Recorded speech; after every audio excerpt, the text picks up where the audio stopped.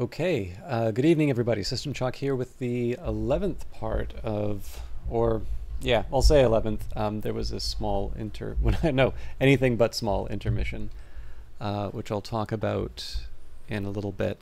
Um, there's dishwasher going on in the background. I'm hoping that isn't getting picked up too much, uh, or at the very least, it isn't very grating. Um, but I was reflecting a little bit on just what I wanted to get done and this is in general, not just the, um, not just the uh, the roguelike tutorial, which of course I am enjoying doing and I think is worth uh, worth putting the time in. But um, you know, in terms of all of the things that I want to get done, on top of the sort of impending um, finale of the the scenario. Wow, that is loud, at least for me. Um, sorry about that. But yeah, the um, I'm just kind of trying to think about how many days I realistically have to get things done. And I think I I have enough time to be able to finish this tutorial and get a couple of extensions done.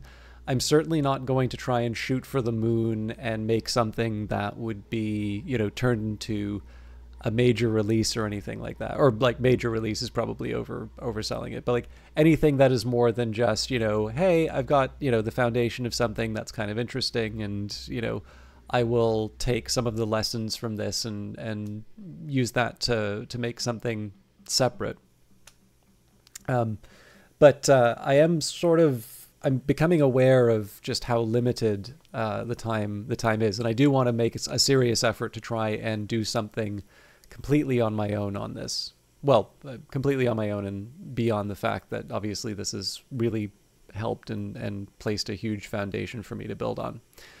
Um, so with all of that in mind, uh, even though I've got some white noise in the background, I have wanted to, I, am doing this now because I really want to try and maybe get a little bit of work done ahead of time uh, because I believe the last two tutorials are next week's. So if I can maybe get those done on, say, Thursday, um, that would give me a little bit more time on something like the weekend to really try and make an effort on uh, on extensions and such.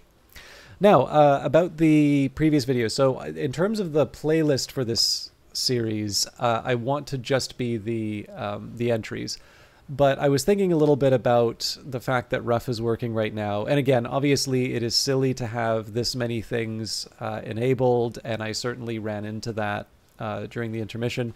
But I, you know, just there's just this idea that if there's you know a couple of hundred errors when all of the files are open, all I'm really going to do is train myself to ignore them. And even here, right, I still have uh, a number of them, but I thought, you know, okay, well, here's here's what I'm gonna do. I'm basically gonna do a, you know, a you like a I don't know a, a Python idiot version of a of a Yule log. Basically, you know, I took recorded the video as I went through. I think there were about 50 different rules uh, or codes or or whatever it was that were um, that had come up. There are some that I deliberately said. So I, I tried as much as I could to say if it's making a recommendation, follow it. I am not yet at a point where I can sort of make judgments in terms of which ones are appropriate or not. There's definitely some I ran into where I'm like, I'm not really sure this is what I want to go for, which again makes sense because literally everything is turned on. Um, but there were a few where I just sort of thought the the return on the time that it would take wasn't really there. So, for instance, um, you know, missing a doc string in a public module, that comes up a lot. I think that's a, a really good thing for me to do and fix. And certainly some of the, you know, the intermediate ones that I replaced really are not great doc strings. Um, but I figure for this, I can do like a proper pass of like, okay, now that everything's in place and now I've, you know, now that I've sort of got some other things that I was interested in, let's tidy this up. Let's see if I can make doc strings that I, you know, I'm proud of. Because, I mean, eventually on my own, I am going to have to do this sort of stuff. And I might as well take the time on something where it's not super important. Uh, it might take the time to actually build, um, build that, um, get to a point where I'm like, okay, I feel, I, I feel like this is not a chore anymore. Um, and I have a rough idea about the sort of thing I want to see when I read um, a docstring. And obviously, that's only going to come from from time and practice. So again, it's not a not an ideal situation. There's still a lot of errors that have come through, but they're within a sort of small subset of what was there before. And so hopefully I'll be taking advantage of these um, these problems. Uh, and again, this is mypy. This is Ruff. There's a few a few of these going on. Um, hopefully I will be getting a little bit more of the benefit for the final entries in the tutorial. Um, and again, if you, for whatever reason, really want to see again some Python um, novices version of a Yule log, um, it's basically it's it's a video in the playlist, uh, I think, but I made like an alternative link to it, but it's not part of the overall continuity because I think that one is a particularly unedited. Well, not unedited. I mean, again, if you want to watch it, you can, but like it's it's not um, not quite the same as going through the tutorial. Um, although I do like the way it presents, you know, the the arguments. Like there are some that I notice can point to PEPs and others don't. So those are eventually going to be the foundations of me sitting down and really uh, coming to terms with some of the things that are are in the um, uh, in the project and and changed. So we're on to part 11, delving into the dungeon. Our game isn't much of a dungeon crawler if there's only one floor to our dungeon. In this chapter, we will allow the player to go down a level, and we'll put very base, uh, a very basic leveling system in place to make the dive all the more rewarding. Before diving into the code for this section, let's add the color we'll need for this chapter for when the player descends down a level in the dungeon. Open up color.py and add this line.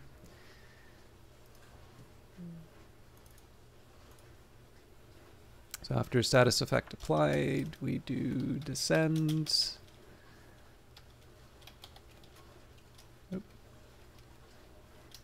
What am I doing?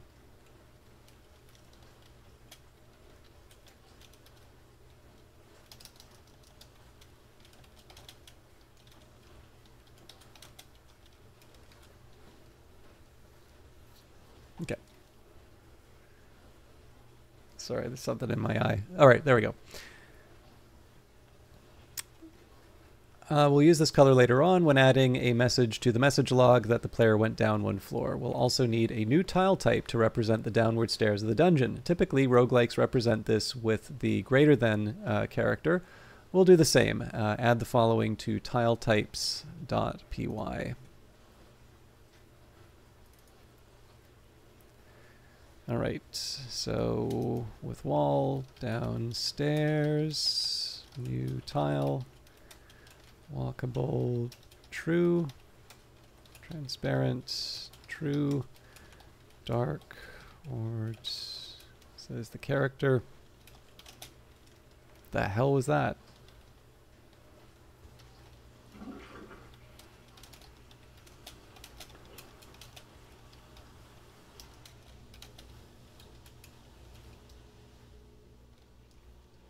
Just be two parentheses, I think.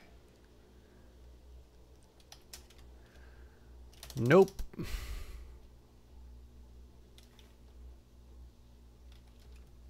There we go. Light. So this is, again, translating the character that we want. Five. 80, 50. Just taking the tutorial's word for it in terms of the colors. Uh, to keep uh, to keep track of where our downward stairs are located on the map, we can add a new variable in uh, out init an out init function in the game map class. Actually, there is one thing I'm going to try really quick. So if I just do type ignore here.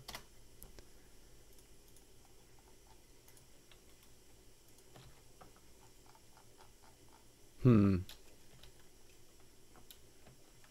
Yeah, I kind of wish I knew the rule that was being uh, being ignored here because it didn't seem to give an alert. Anyways. Uh, to keep track of where the downward stairs are located on the map, we can add a new variable uh, in out an hour init function in the game map class. Uh, the variable needs some sort of default, so to start we can set that to be 00, 0 by default. add the following line to gamemap.py. Okay, so after init, got self explored, self downstairs location equals zero zero.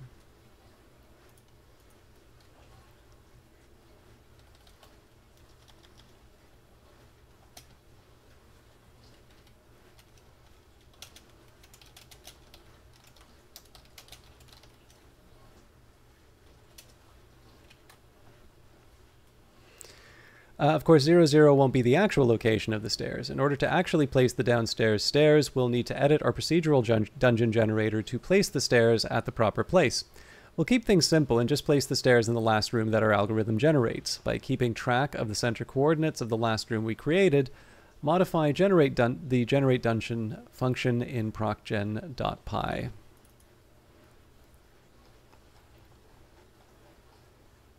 Okay, so after the list of rooms...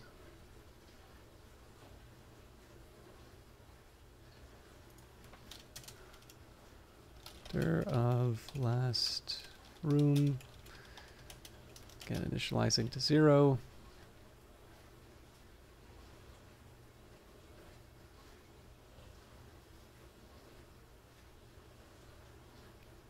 Okay. Something like this. Right, okay, this is the one that's going to complain about my massive... I, I'm never going to make a cryptocurrency with this kind of dungeon. Um, so I'm looking for the tunnel between...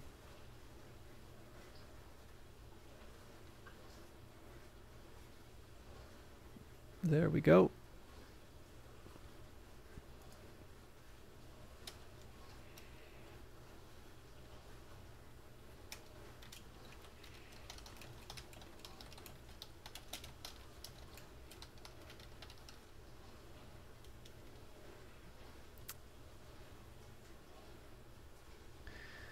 Uh, but that can't be right because place entities is after digging out.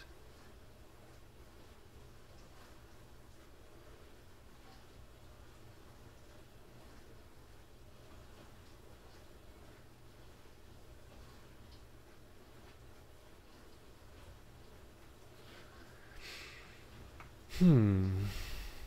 Sorry, I need a minute to think about what this will do.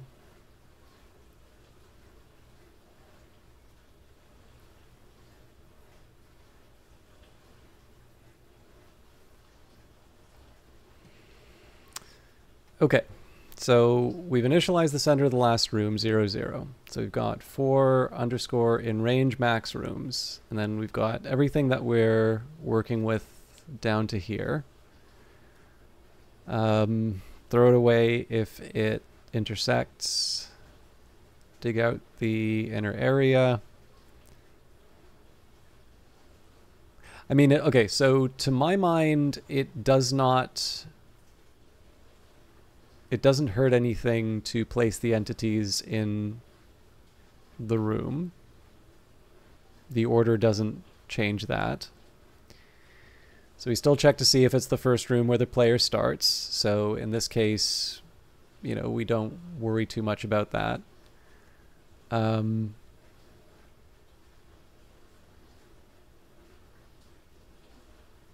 although I'm maybe not so sure. I mean, we probably want this out of the conditional. Um, because the player's last room. So if we, I can't imagine a situation where we would have a two room dungeon, but presumably that is a, a potential outcome. Um, so.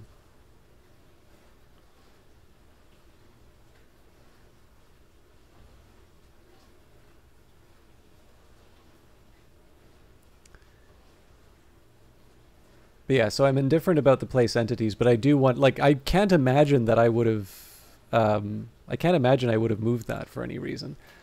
Um,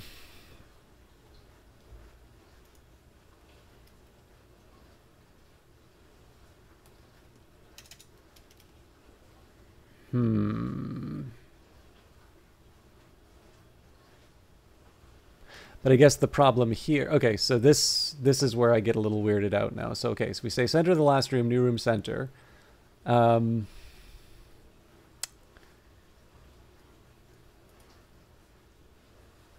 dungeon tiles, center of last room, tile types downstairs, uh, dungeon downstairs location, center of last room.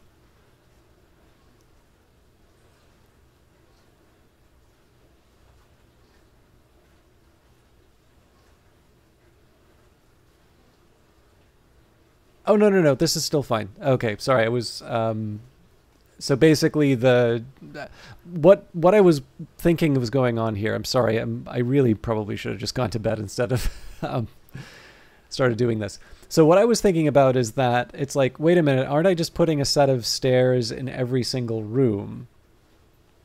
And sort of I am. Like I'm sure if we were to slow this thing down, we would see um,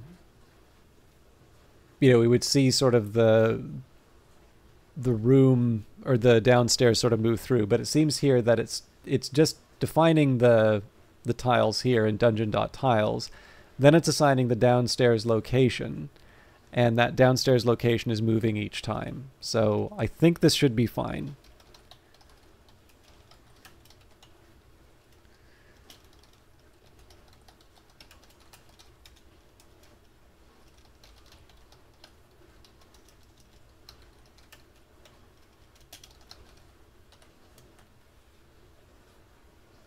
Whichever room generated last, we take its center and set the downstairs location equal to those coordinates. We also replace whatever tile type with downstairs so the player can clearly see that location. Okay, I'm feeling a little less confident about that. To hold information about the maps, including the size, the room variable, size, and maximum number, along with the floor that the current player is currently on, we can add a class to hold these variables, as well as generate new maps when the time comes. Open up the gamemap.py and add the following class.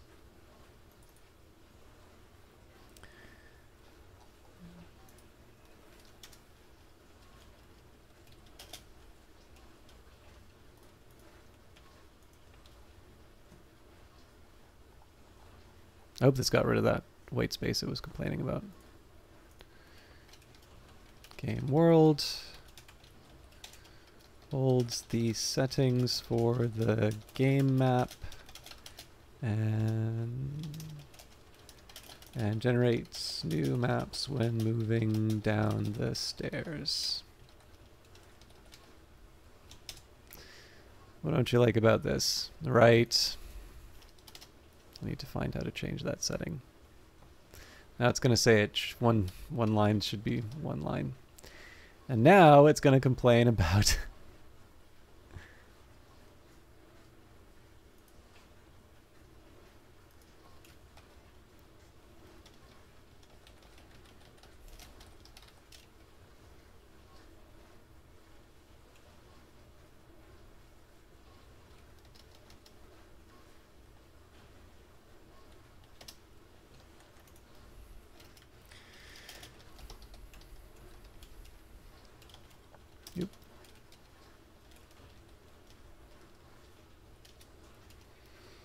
self. So again, I think the um, star splat or whatever is intended to make all of these keywords.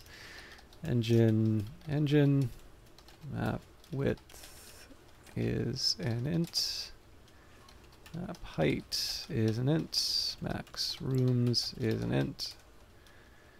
Room min size is an int. Room max size is an int.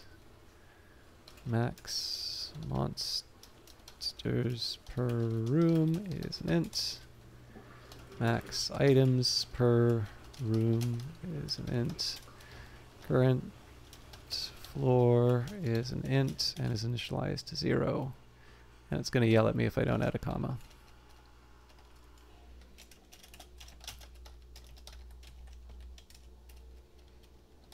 Engine is engine, map width.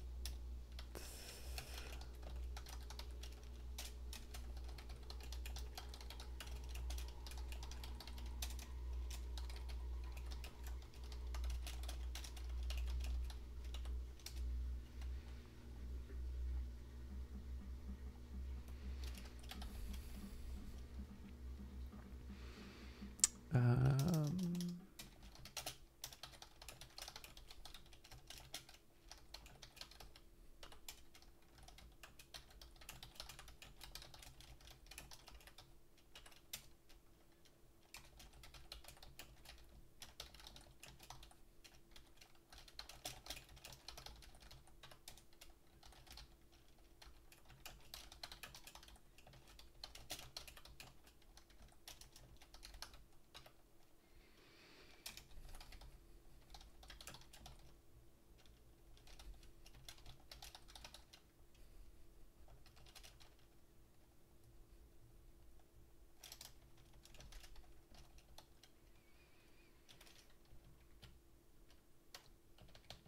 Okay, I think it's going to complain about any type annotation for self.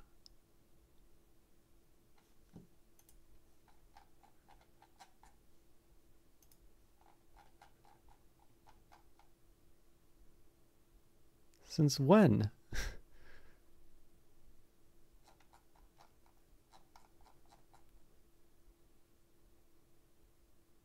oh.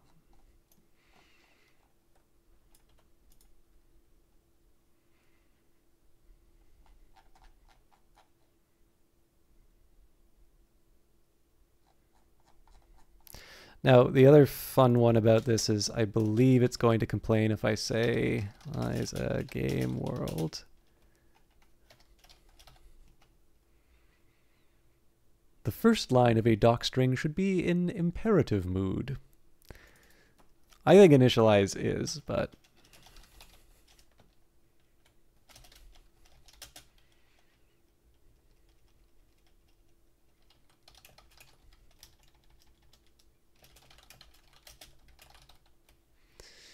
What don't you like now? One blank line required after the...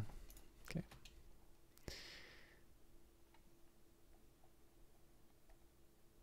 Now generate floor.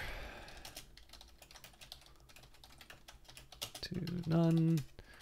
Proc gen. Oh, this is interesting. Import, generate, dungeon. I'm curious um, why this is done in here as opposed to the top. Self current floor plus equals one. Engine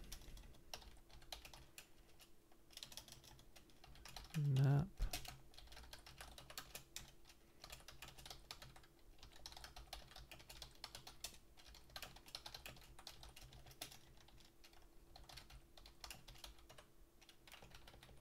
You guessed wrong. Okay, room max size, room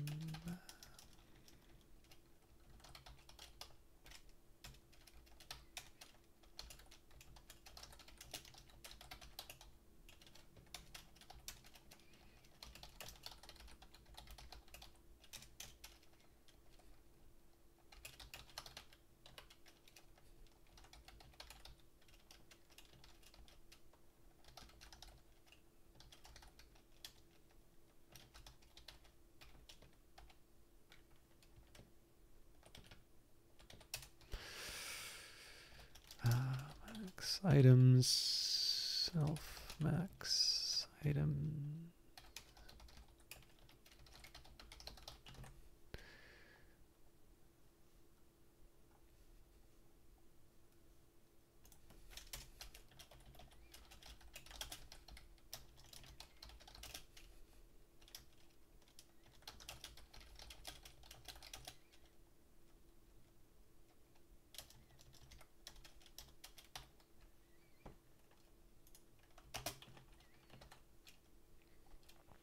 The generate floor method will create a uh, create the new map each time we go down a floor using the variables that Game World stores. In this tutorial, we won't program in the ability to go back up a floor after going down one, but you could perhaps modify Game World to hold the previous maps. In order to utilize the new... Okay, it's a little bit of a shame that um, it doesn't explain why... So I understand that this can be done. I'm just not sure what the benefit is. Um, well, okay, so I can think about, I guess the thing that is different is we are Nope, that's actually that's still not different. Um, sorry, that's the Duolingo owl demanding my sacrifice. We're good. Um, yeah, so this really isn't any different from us taking, you know, engine or entity. So would have been nice to maybe understand why we would do do it this way, but uh, I'm not going to spend too much time thinking on it. Um, all right, in order to utilize the new game world class, we will need to add it to the engine like this.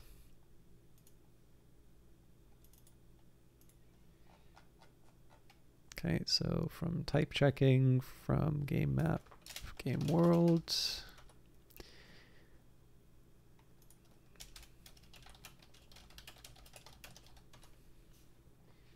Pretty simple. To utilize the game world class attribute, edit, excuse me, uh, setup game.py like this.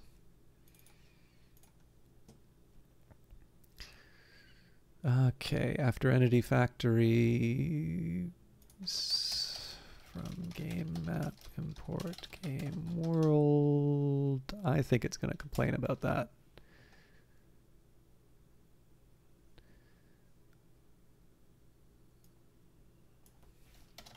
We'll see how it looks at the end of the the edits. Okay, after engine, we don't do generate dungeon, we do engine game world. Game world. Gen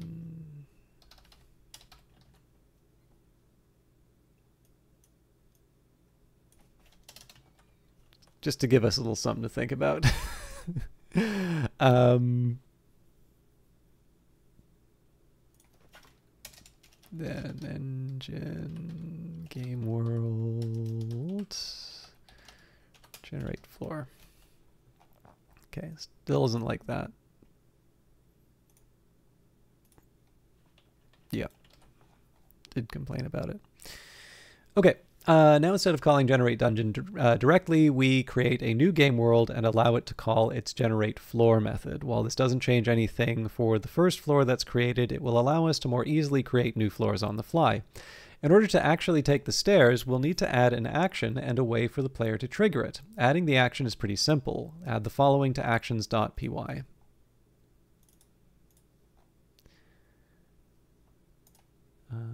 Okay, after the wait action,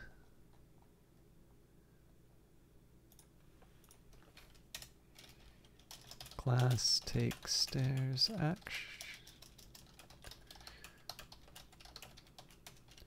Def perform.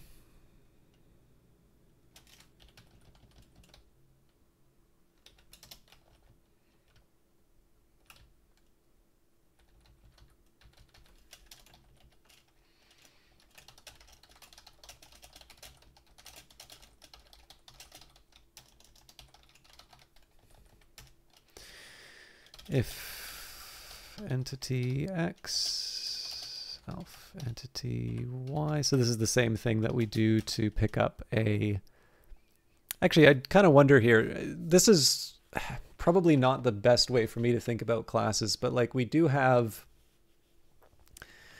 we do have a number of actions that we take that effectively check um, whether we're in the right spot. So I don't know if this would be a case where you want to create another um, you know, another class in terms of um, I don't know, like targeted action or or um, location based action, like basically one that has this um, has this check inside of it. I I don't think it needs like again, you can kind of you can go crazy um, slicing and dicing this all all in its own way, but it does sort of feel like there is a group of of things that we do that um, that do this check pretty frequently. Um, So I don't know if that would just be, you know, adding a method. I don't know if that would be adding um, a new class or something like that, or the combination of the two. But just one of those cases that sort of feels like it's maybe been repeated a couple of times, which makes me think that maybe that's a, a time to uh, to add something. So self engine game map downstairs location engine game world. Generate floor. Self engine. Message log. Message. You descend the staircase.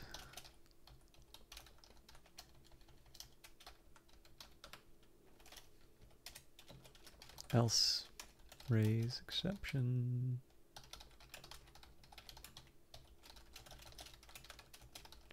I think this is going to complain about the text inside. Yeah, avoid specifying long messages. So not, this is a little annoying that I'm doing this, but this is how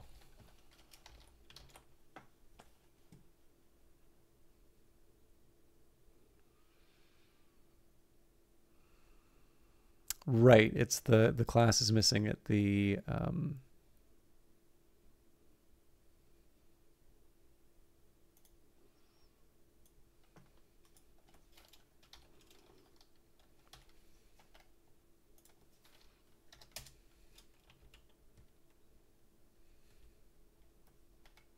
You're joking me. Oh. Um, all right. To call this action, the player should be able to press the greater than key. This can be accomplished by adding this to input handlers.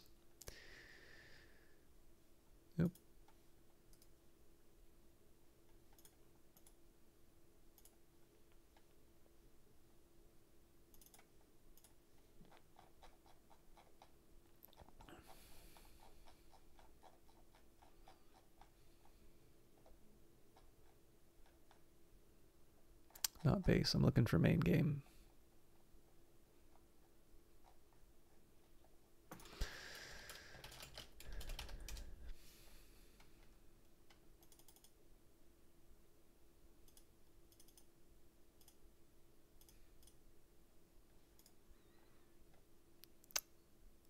Okay, so EV key down, we have key, fire, event.mod. After self player, if key equals tcod and KeySym period. So I'm just anticipating the uh, warning it would give me and modifier and mod event.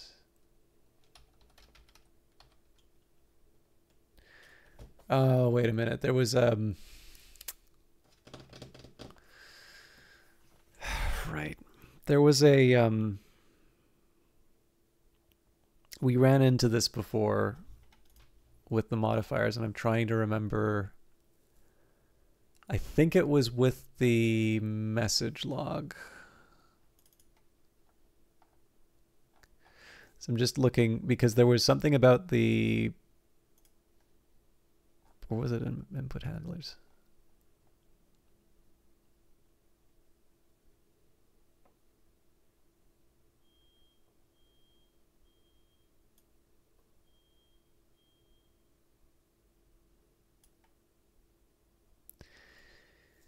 Okay, adjust. I remember this being a thing. Oh wait, it was in the targeting. Um,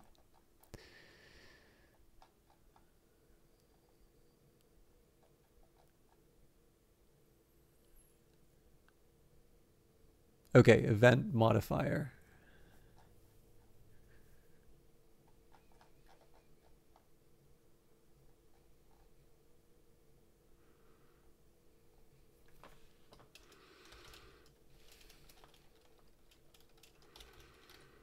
Actually, probably what should have triggered um, I think here's the thing that probably could have uh, alerted me to the uh, to the difference. The um, so notice here that it's got event k period, whereas here it's got k mod. So that should have been sort of a signal to me that these things were were different. But anyways, doesn't matter. Um, I'll shift or tcod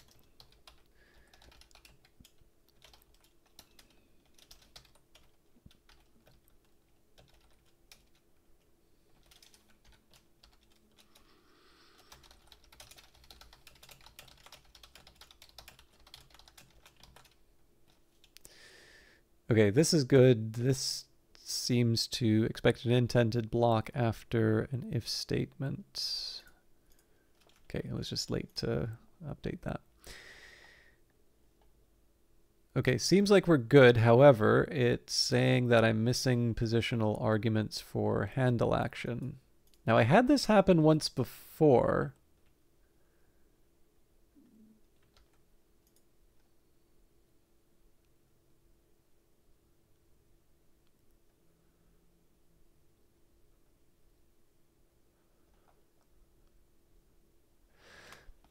Okay, hang on. The action's an action.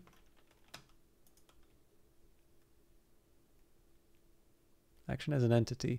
Yeah, I've had this happen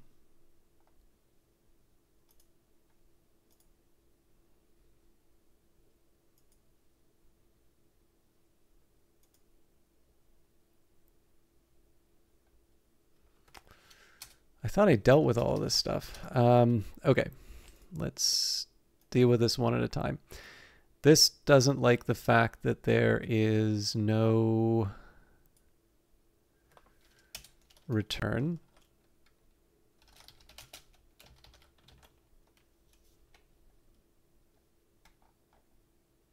Okay, that seems to have dealt with everything. Can I just delete this and make it happy? sure. Why not? Um, all right, as long as it's happy. Uh, modifier tells us the player is holding a key like Control, Alt, or Shift. In this case, we're checking if the user is holding Shift while pressing the period key, which gives us the greater than symbol. With that, the player can now descend the staircase to the next floor of the dungeon. Let's see if it works. Actually, while I'm doing that, let's also just see if there's 92 errors. So I'm not expecting miracles here. Maybe if we divide this by the groups, but I should basically see. Um, actually, you know what? I'm going to try something here. Um, what if we just get rid of this and wait until it complains to add it?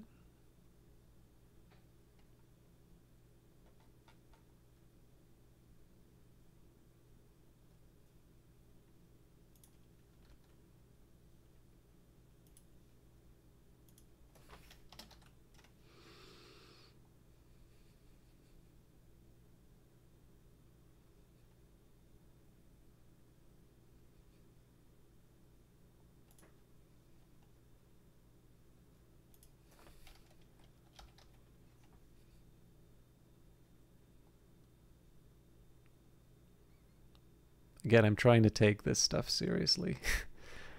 okay.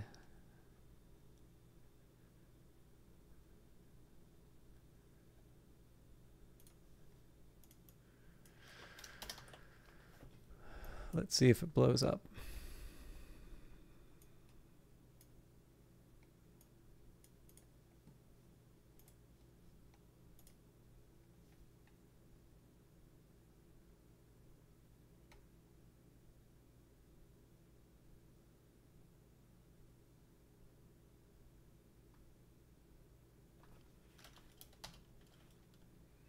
Think that's an old error, but let me just try this again.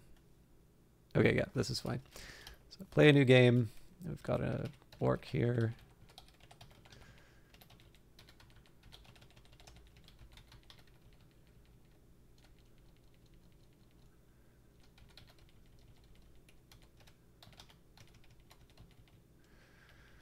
Okay. Um,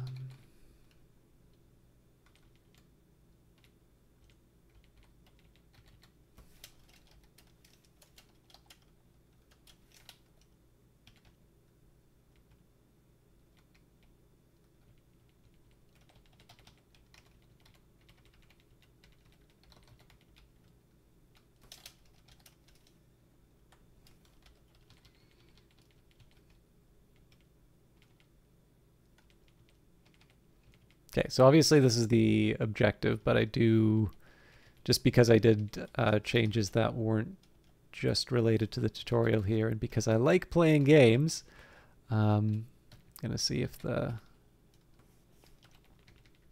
just gonna run through and see if we get any warnings or other, oh, actually, you know what, there is one thing that I haven't tried in the,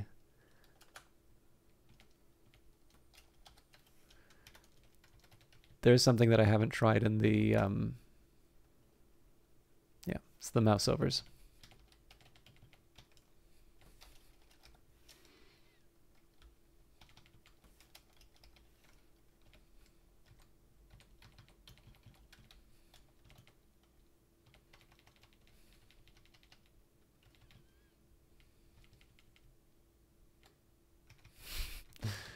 Didn't mean to just go plowing through the troll there, but didn't didn't kill us yet.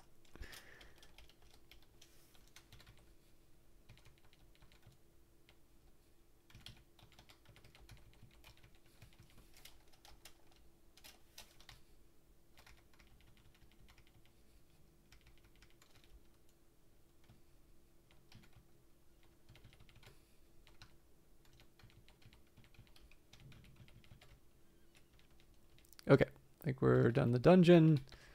So the moment of truth, and if this doesn't work properly, I'm not going to do a full level again.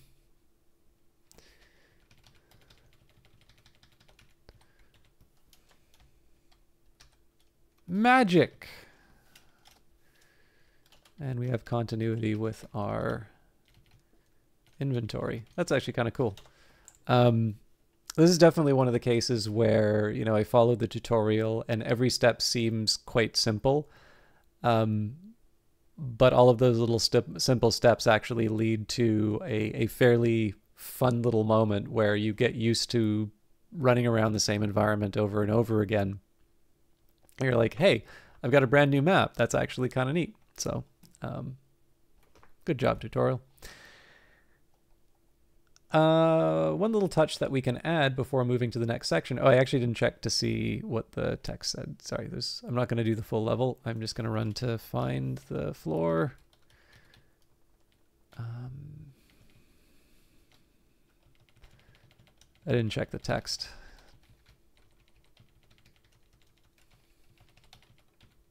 It's empty place.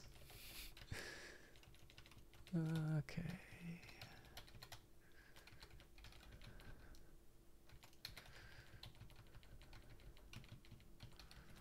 Maybe I will clear it. I'm not intentionally trying to clear it.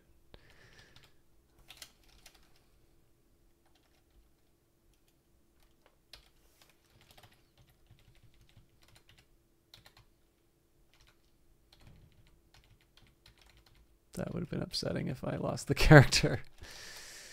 All right.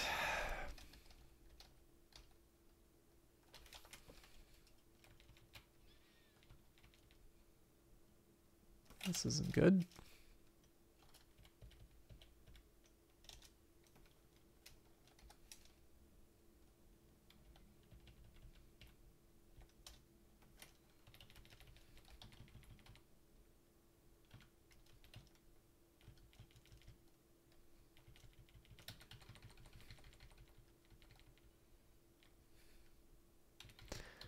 I mean, can't fault the map generator for giving. Ooh, that's an interesting little problem. Um, put the remains of an orc over the exit.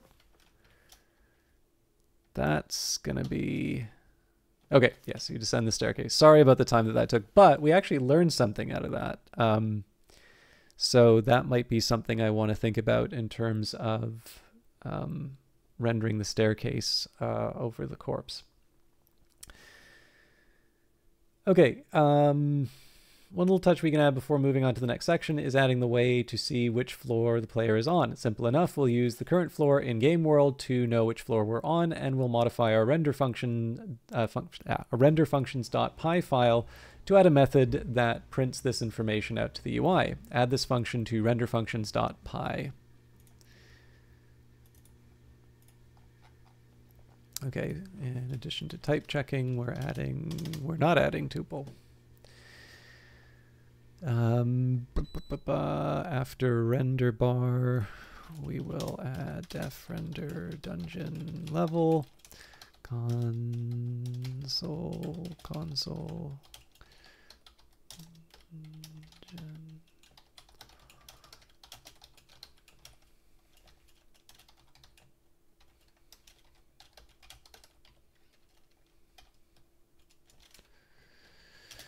returns none.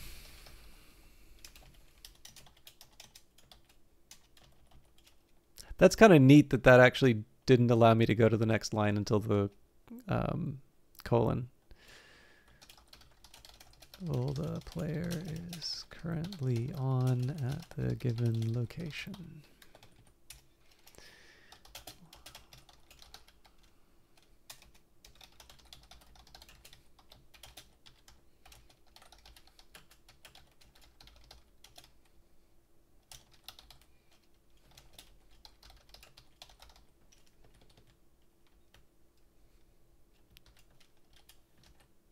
Oh, okay.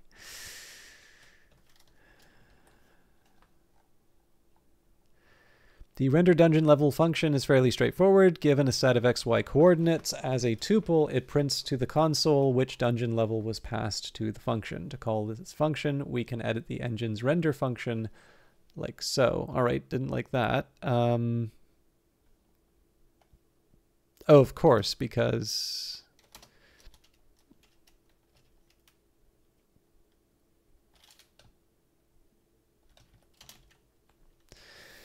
Sorry, like I said, should have gone to bed instead of started another uh, another video. Okay. Uh, to call this function, we can edit the, maybe we'll just take a minute here, make sure we didn't add anything unsavory to render. Yep. Uh, to call this function, we can edit the engine's render function like so. Engine. All right, this is nice to see.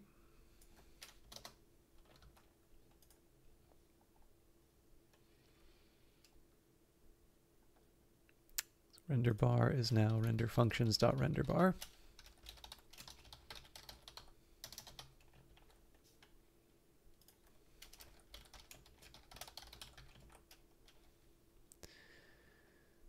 Um,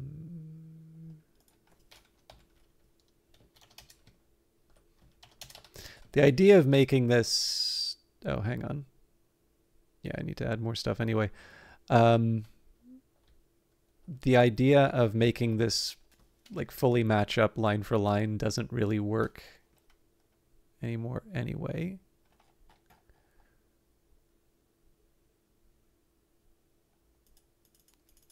Unforgivable.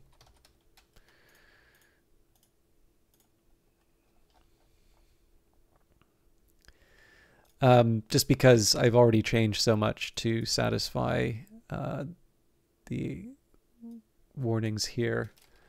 Still, it's not a bad habit to get into, um, just to try and make sure that if I, if just give myself a fighting chance in terms of finding the dumb things that I do. Uh, done level.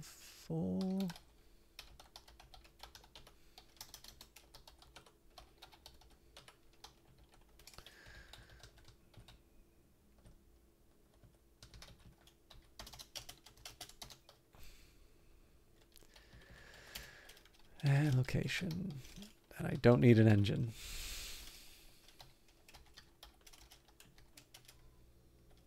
Presumably it's going to complain about a magic number. No. Okay, and then...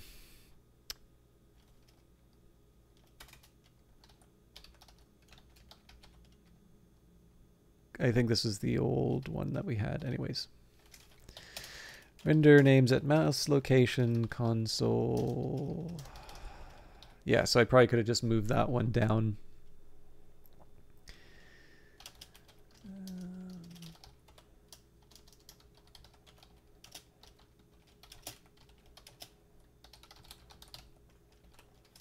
okay. Now that we're importing render functions instead of importing the functions it contains, um, sorry, instead of importing the function it contains, after uh, a while, it makes sense to just import the entire module rather than a few functions here and there. Otherwise, the file can get a bit difficult to read. The call to render dungeon level shouldn't be anything too surprising. We use self game world current floor as our dungeon level, and the location of the printed string is below the health bar. Feel free to move this somewhere else if you like. Try going down a few levels and make sure everything works as expected. If so, congratulations, your dungeon now has multiple levels. Um, okay. I don't want to spend too much time on this, but I don't think it's bad to spend time. Aha. All right, didn't like dungeon level.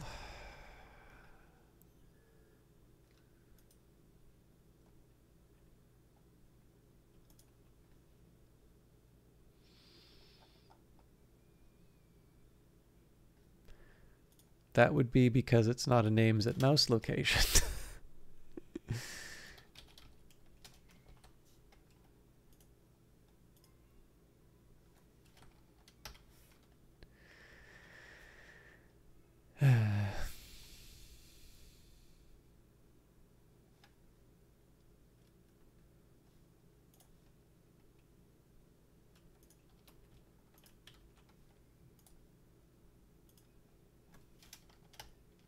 There we go. Well, hello and welcome, adventurer, to yet another dungeon. We are on dungeon level 1.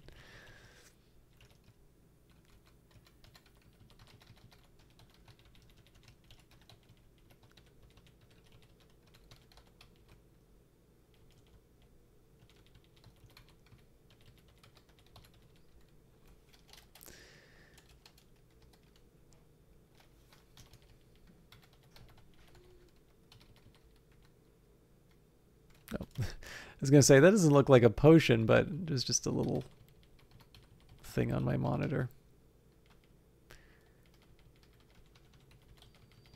Obviously, you wouldn't see that unless by some fantastic coincidence you have the exact same bit of dust or whatever that is. But, ooh.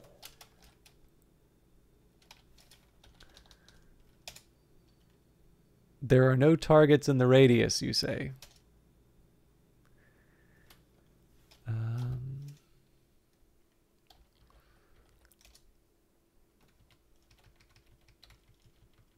There we go. Okay, number two is working. I landed on top of an orc here, which is not great, but... Actually, I should... Next time I do that, I should see if the wait action winds up counting as a... Um, an attack or not. I'm just going to try one more level. I mean, if it goes up by one, presumably it will go up by one again.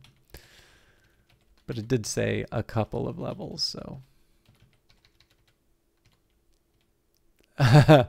I'm not surviving this.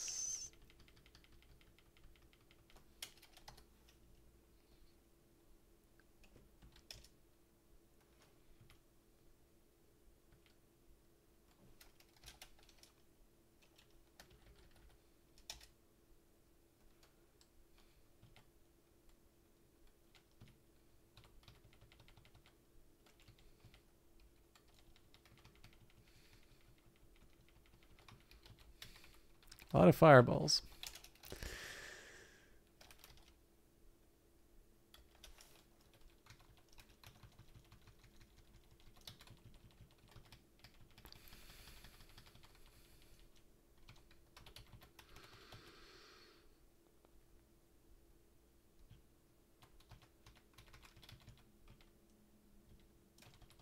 That's going to be weird if the stairs were in that first room.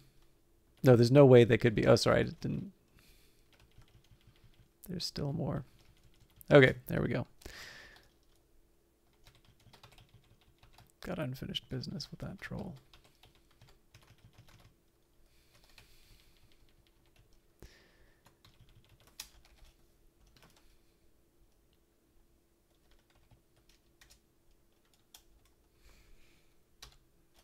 All right, that seems good enough to me. Go out with a bang.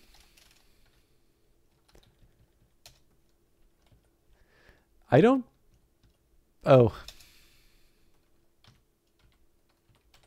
Yeah, I should probably figure out a little bit of... All right. That's fine. I will get sucked into playing this forever. Uh, da, da, da, da, we... Yes, we're fine. Um, Speaking of levels, many roguelikes, not all, feature some sort of level up system where your character gains experience and gets stronger by fight uh, gets stronger by fighting monsters. The rest of this chapter will be spent implementing one such system. In order to allow the rogue to level up, we need to modify the actors in two ways. The player needs to gain experience points, keeping track of the XP gained thus far, and know when it's time to level up. The enemies need to give experience points when they are defeated. There are several calculations we could use to compute how much XP a player needs to level up, or theoretically, you could just hard code the values. Ours will be fairly simple. We'll start with a base number and add the product of our player's current level and some other number, which will make it so that each level up requires more XP than the last. For this tutorial, the base will be 200 and the factor will be 150. So going up to level 2 will take 350 XP, level 3 will take 500, and so on. We can accomplish both of these goals by adding one component, level. The level component will hold all of the information that we need to accomplish these goals. Create a file called level.py in the components directory and put the following contents in it.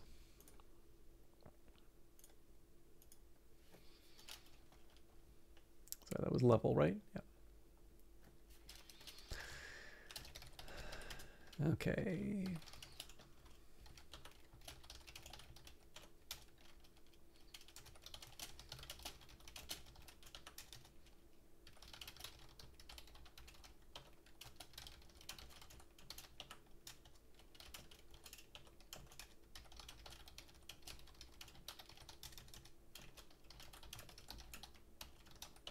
Going to yell that I didn't give it a doc string.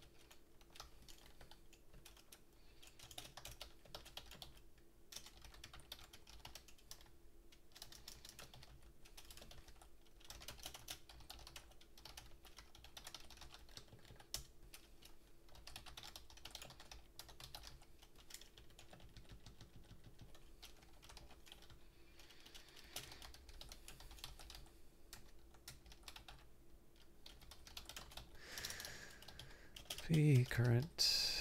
This one's always a little tedious isn't quite the word I'm looking for, but um, it's very it's very standard. You know, I typed these things before. Now I'm going to type them again. Um, and then I inevitably make, oh wait, no, no commas here because these aren't parameters. Um,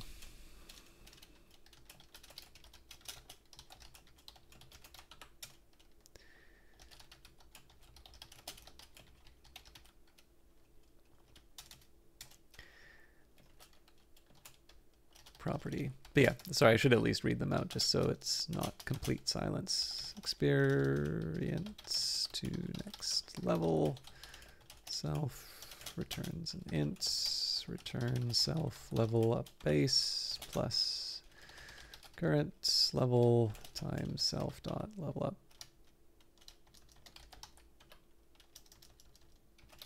Factor. property.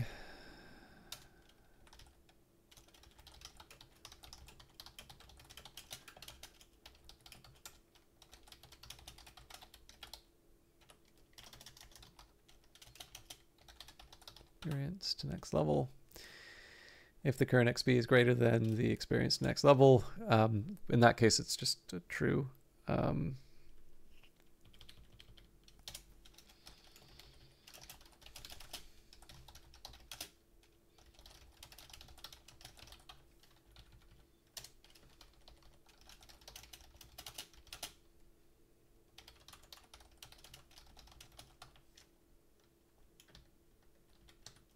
guess entity.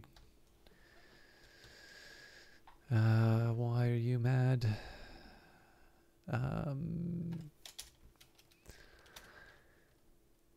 okay, we've got the properties def add xp self of xp int none if xp 0 or self level up base 0 return.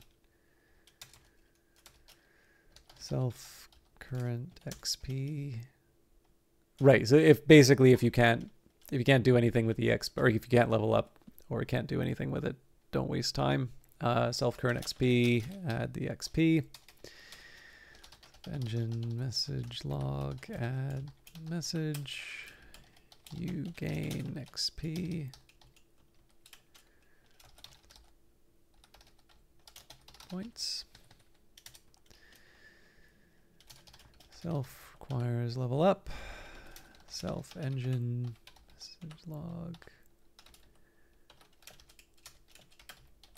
Advance to level self current level plus one.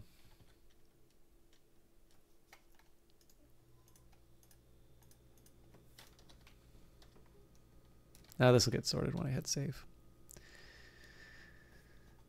why are you mad now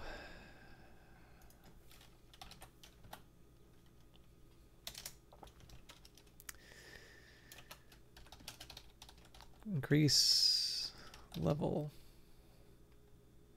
This is interesting. So when you add the XP, it does not actually level up.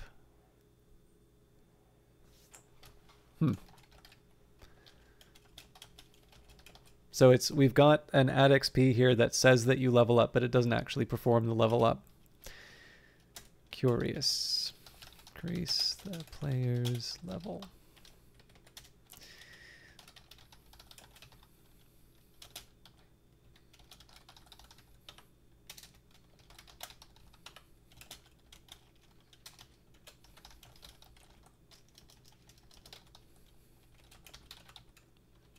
P self. Um,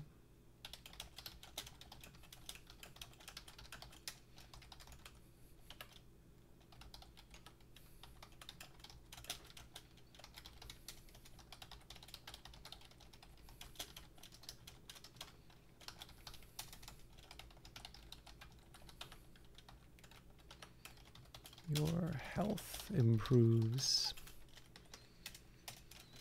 Self increase. Okay, there's where the. Why? I'm still trying to make sense of this. I think. So I have. I think this is probably just a. Uh, oh, sorry. I should also. Um,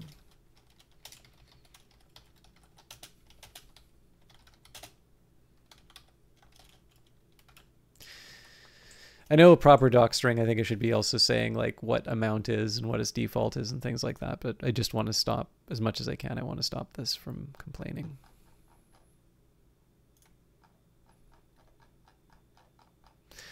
Um, okay, so I think like I'm sort of getting the logic uh, here, but I suppose the question I would ask is that if you were to sit down and say, you know, at what point does the player's level increase? It would seem to me the obvious answer to that is.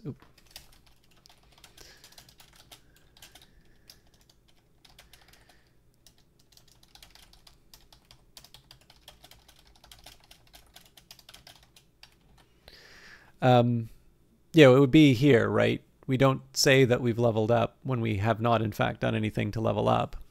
Um, so it seems that there's going to be another sort of set of things that happen based on um, based on the or sorry based on um, some sort uh, thing try I'm, I'm stumbling over myself again. It seems that there are going to be a few more steps that we weren't aware of but I guess the thing I need to think about here is that it's like okay so we're increasing max HP so what is it about HP that makes it natural to level up, to, to increase the level? That is the part where I'm a little unsure. Um, I I think maybe also to um, perhaps the the way I think of this would be like when you level up, there are a number of things that happen to you, right? Like your level goes up, you get your new max uh, experience that you require. You uh, maybe that's where you get your extra HP and your power and such. Um, so again, like it's this is all going to get handled. Um, okay, now I really am confused. Increase, or maybe so maybe you make a choice in terms of max HP power or defense. That's probably what's happening here.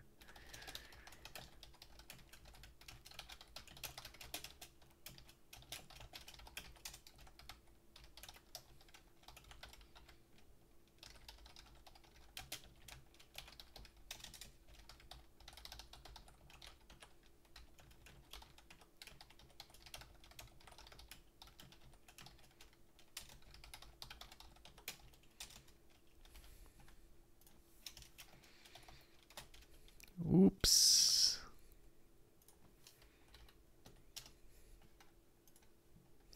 Stop, stop, for the love of God.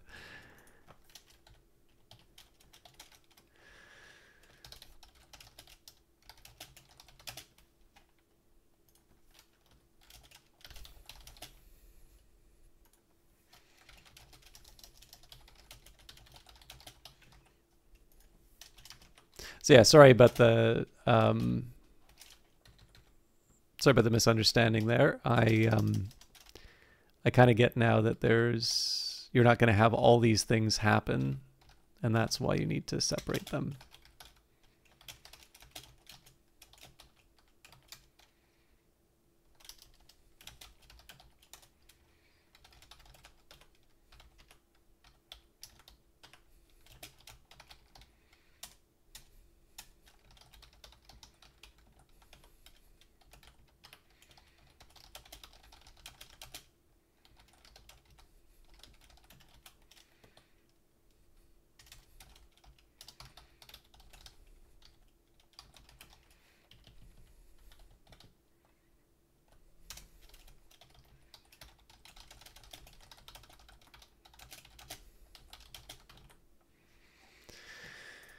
Okay, let's go over what was added.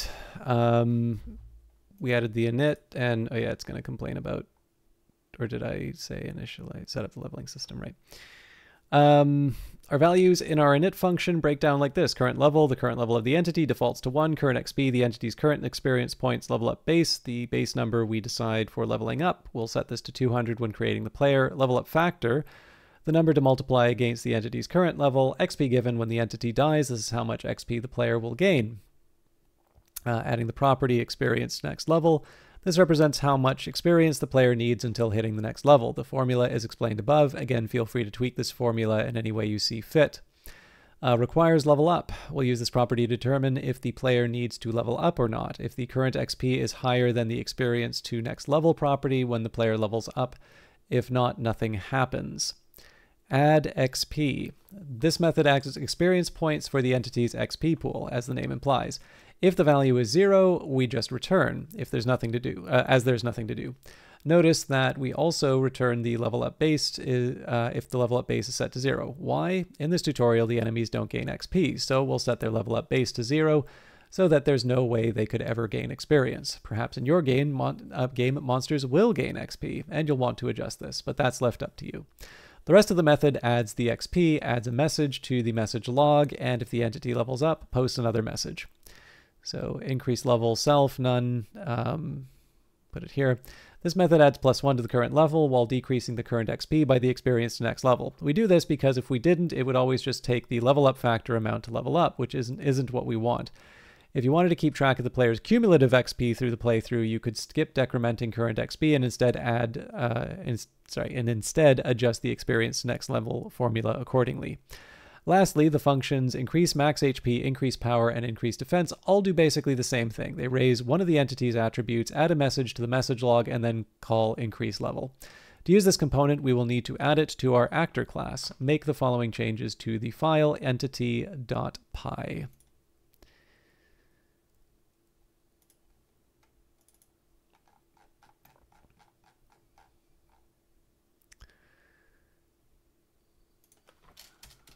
from component level import level.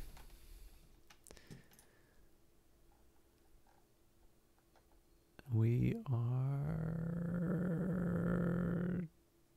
class actor.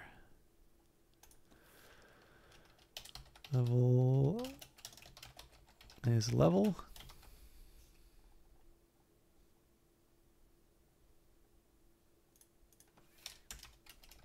dot level equals level level parent equals self. We will also modify our entities in the entity factories.py now.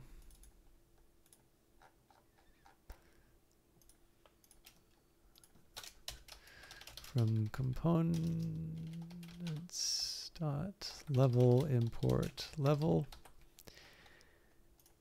and then level go up base. 200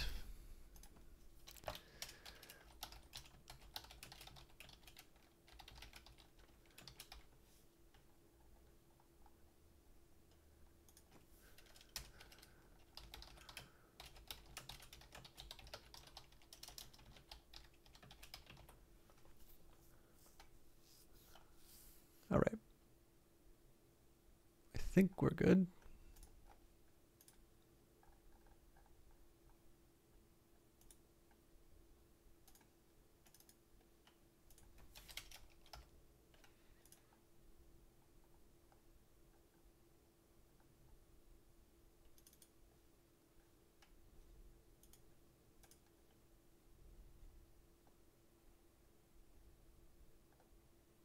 Sorry, just taking the time here to make sure.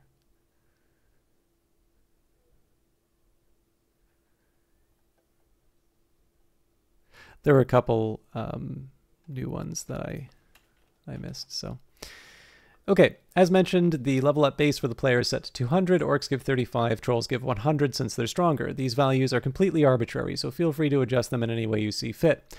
When an enemy dies, we need to give the player XP. This is as simple as adding one line to the fighter component, so open up fighter.py to add this.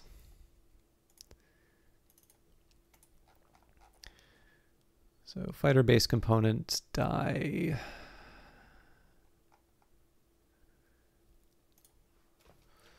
So after the message log, self engine player level add XP self parent level be given. Now the player will gain XP for defeating enemies. While the player does gain XP now, notice that we haven't actually called the functions that increase the player's stats and the player levels up. This is what my complaint was. We'll need a new interface to do this. The way it will work is that as soon as the player gets enough experience to level up, we'll display a message to the player giving the player three choices on what stat to increase. When chosen, the appropriate function will be called and the message will close. Let's create a new event handler called level up event handler, which will do just that. Create the following class in input handlers.py, which we already opened.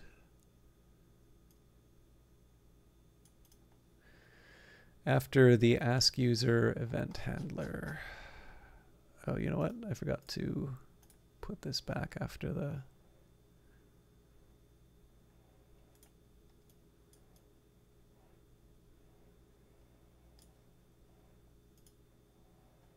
Hey, I learned something new. Uh, this should make it easier. Uh, ask user.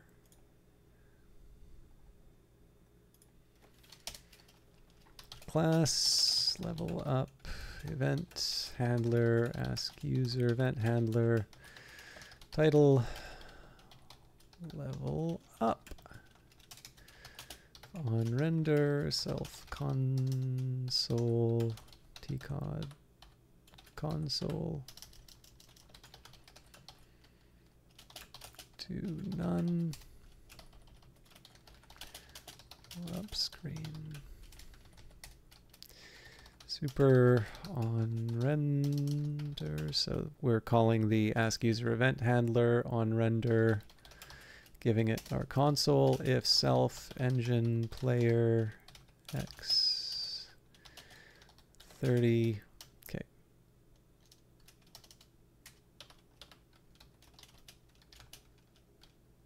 I think it's 40 if uh, self engine player. X equal 30 else 0 I know it's going to complain about the magic values, but I believe that still works.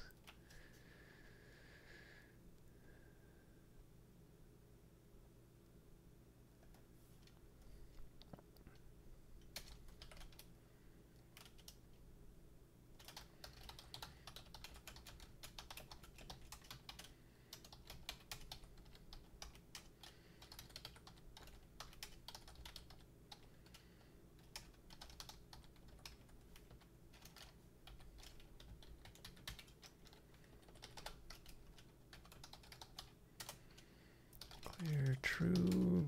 Foreground is 255, 255, 255. BG equals 0, 0, 0. Um, console print x equals x plus 1, y equals 1. Congratulations. You level up.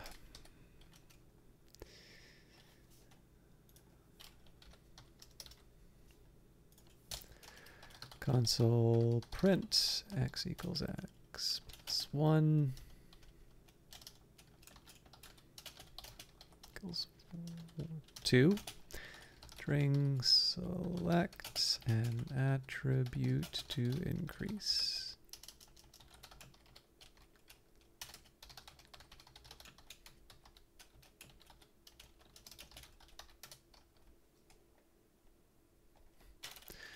Y equals 4 string f constitution plus 20 HP from self engine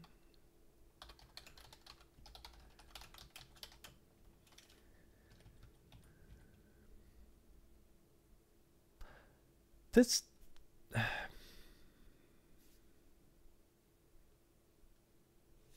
doesn't quite make sense to me. So we're saying plus 20 HP from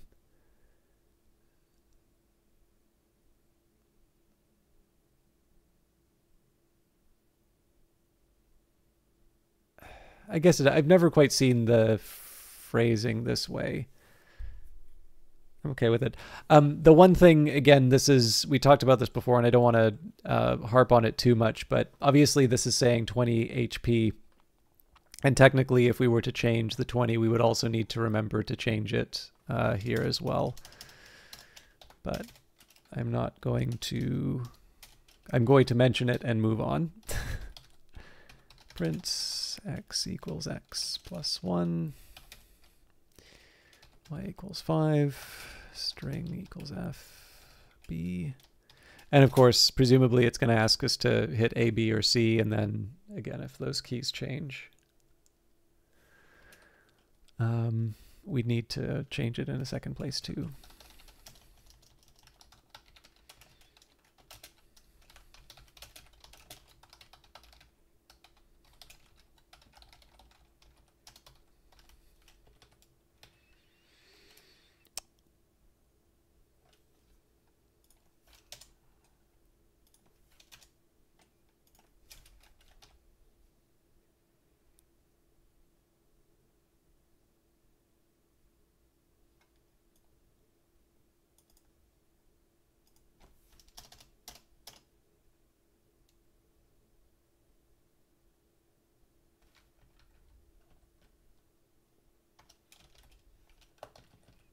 That's definitely wrong to tell me that's not matched. I think it's because we're splitting the string over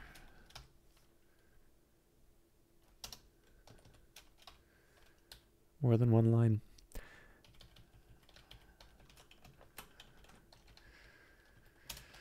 Console print x equals x plus 1 y equals 6 string fc agility plus 1 defense from self engine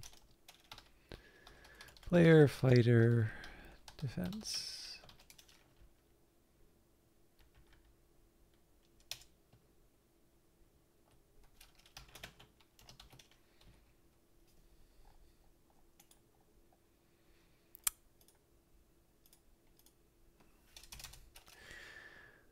Okay, def ev key down. Self events tcod events. Key down. To optional nope. Or none. Player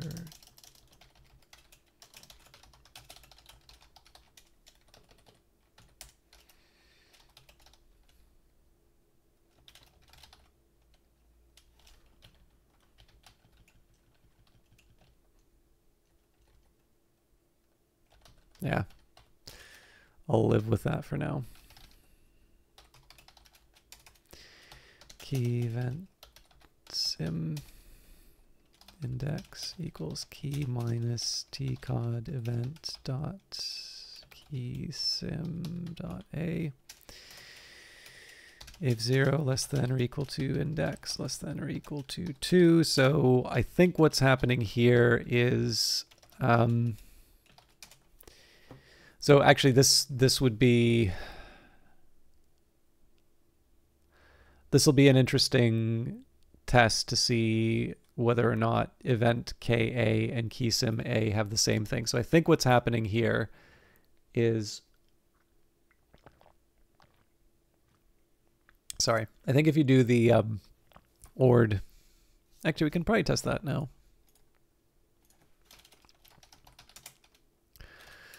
Uh, or A. Okay, so we get 97 or B 98. Um, so I think I'm kind of getting something similar to that here. So this is the key that the players press down. We're saying, okay, so some key's been pressed. How far away from A is it? Is kind of the way of thinking about it. And if the value is B or C, which are the ones written here, then it's going to process them. And if it's something greater than that, that means that we hit a button that's uh, somewhat further than C. Uh, and I'm assuming, I should have checked this too. Uh, Python. So I'm just curious if I were to do one, for instance, Oh, that's 49. That's interesting.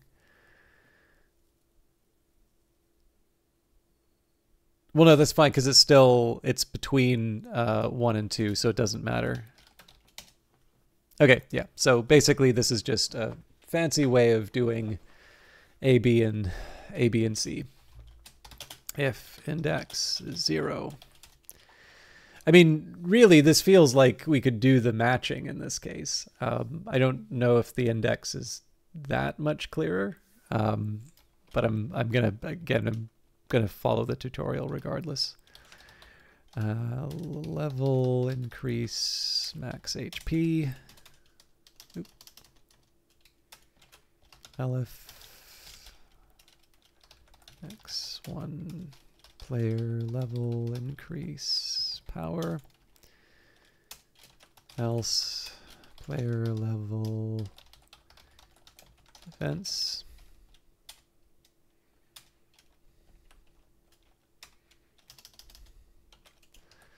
Else self engine message log add edge invalid entry color invalid.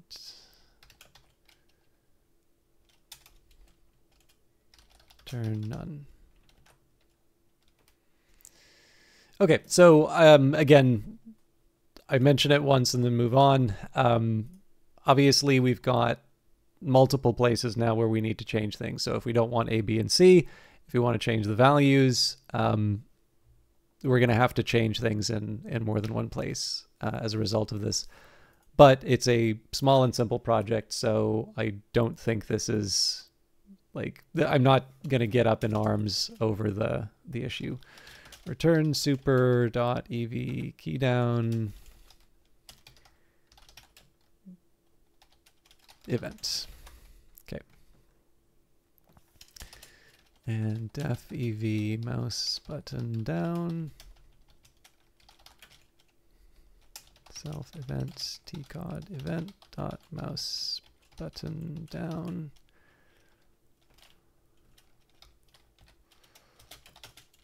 Um, action or handler or none. Don't allow the player to click the menu like normal. Or none. Okay, the idea here is very similar to inventory The idea here is very similar to inventory event handler. It inherits from the same ask user event handler class, but instead of having a variable number of options, it's set to three, one for each of the primary attributes. Furthermore, there is no way to exit the menu without selecting something. The user must level up before continuing. Notice we had to override EV mouse button to prevent clicks from closing the menu. Using level up event handler is actually quite simple. Uh, we can check when the player levels uh, requires a level up at the same time that we check if the player is still alive.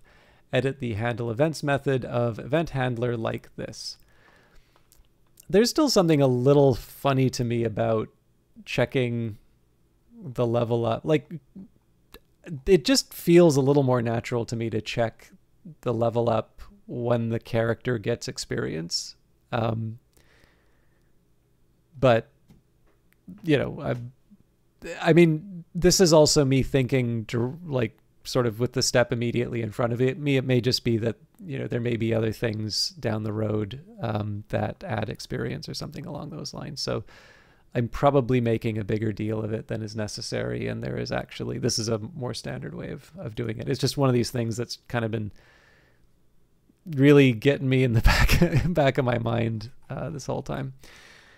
Uh, okay, so in handle events, which I don't think we've opened yet.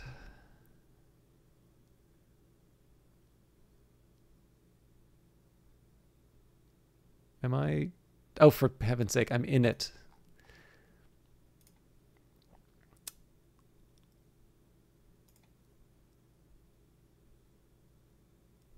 So after the game over event handler here. Else if so. This is why I say elif sounds very stupid, but it's actually if I say stuff aloud, I tend to write it. So um, engine player level requires level up. Turn level up event handler self dot engine. Now, when the player gains the necessary number of experience points, the player will have a chance to level up. Let's see this in action. But first, a quick check through the log.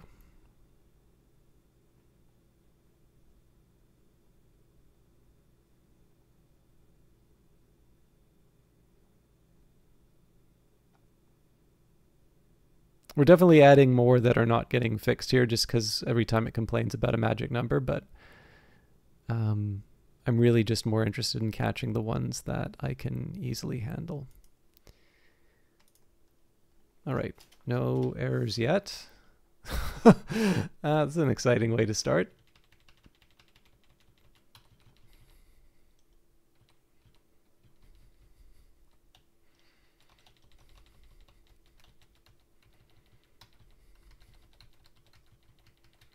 Jesus Christ. Congratulations, you level up. Select an attribute to increase. Agility. I cannot take any more hits like this.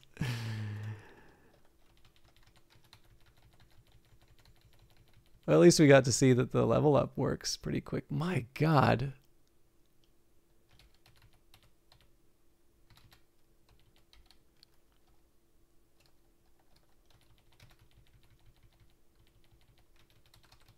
Okay, so that lightning scroll is going to help me for the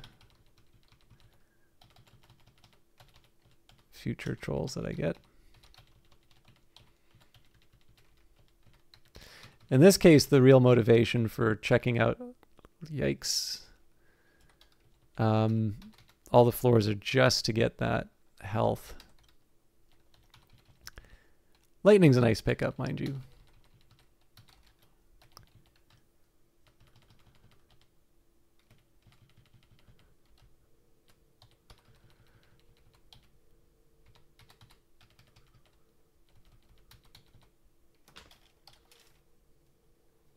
Zap.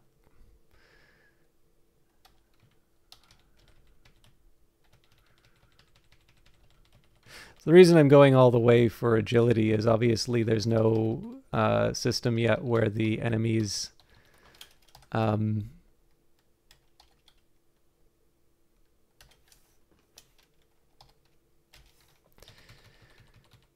uh, the enemies like increase their damage. So if I do enough, um, like if I give myself enough defense, then effectively I just shrug off their attacks. And then of course from there it's like, okay, well doesn't the game get a little bit boring if I, you know, if I'm just busy whacking away at, oh yeah, so here we go. We're already at that point. Attacks the player, no damage. Obviously we're not there with trolls yet but this is a this is a pretty straightforward way to guarantee myself a win every time.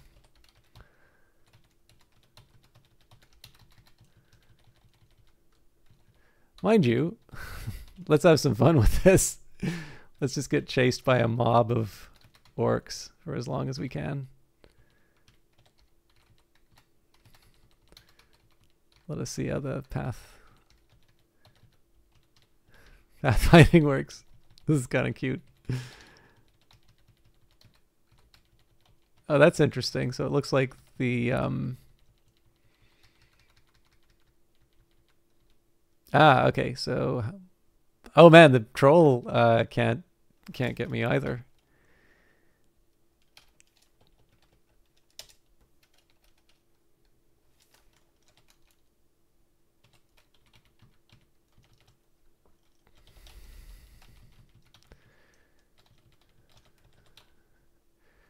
Uh, so here we would keep increasing strength so that we can just plow through the enemies pretty fast. I'm not going to spend like forever doing this, but I do want to see if I can run through this pretty fast. But yeah, it looked like there was a um, an item where the exit was.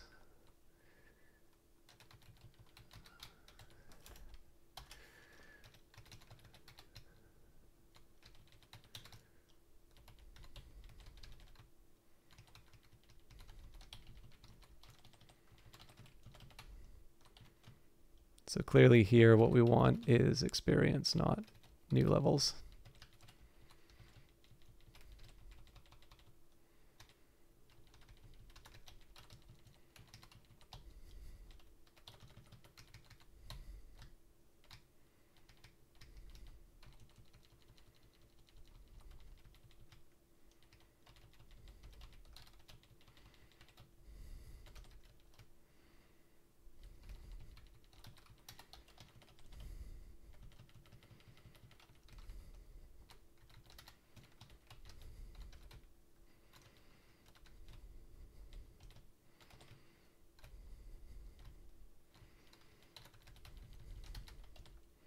Nope, I'm out of inventory space, so health potion makes a lot of sense too. In fact, at this point, we should drop all the health potions.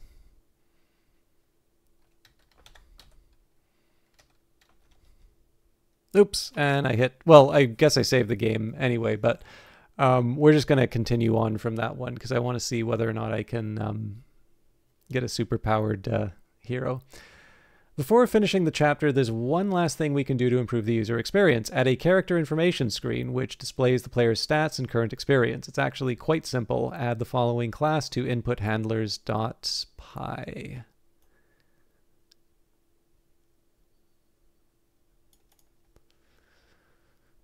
Okay, after the ask user event handler, I am so, so happy that I am aware of this class character screen event handler ask user event handler title character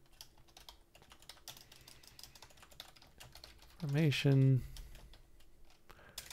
def on render uh, self console tcod console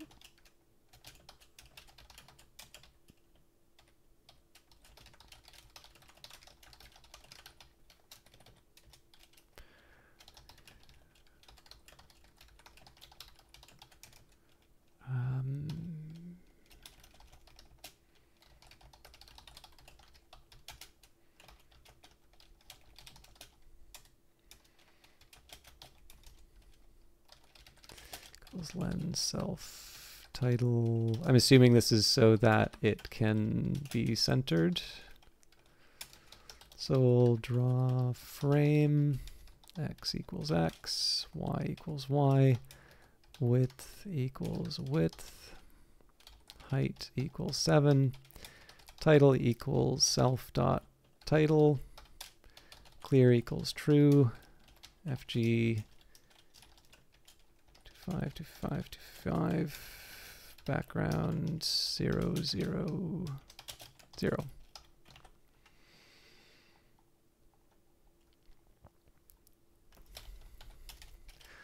console.print x equals x, oop, plus 1, y equals y plus 1 string equals f, level, self engine player, level, current level. Doesn't like the length.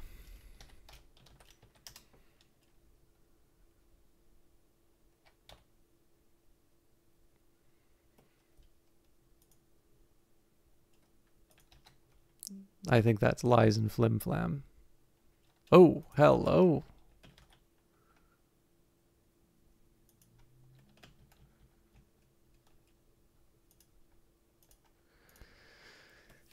That was scary.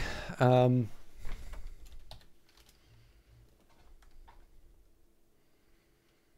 this actually makes a lot of these um,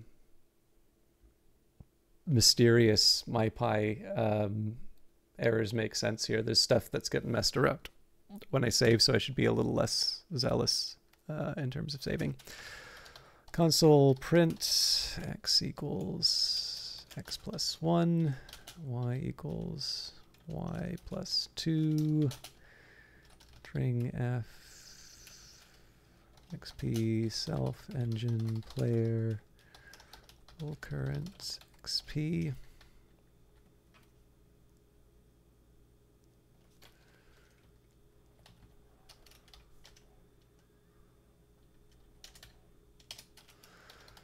print equals x plus 1, y equals y plus 3, string f xp for next level,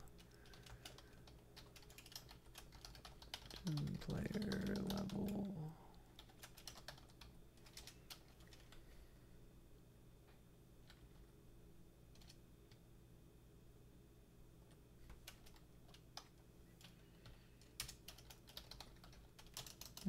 So we put a space between this one. Print uh, x equals x plus 1, y equals y plus 4, ring equals f, tac, self engine, air fighter, power.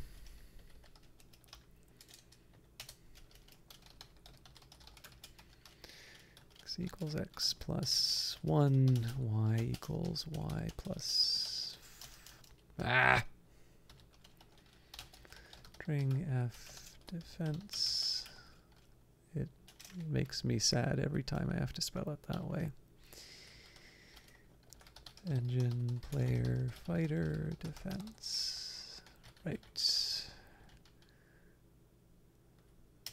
You get a new line. You get a comma. Then you get a new line. Okay.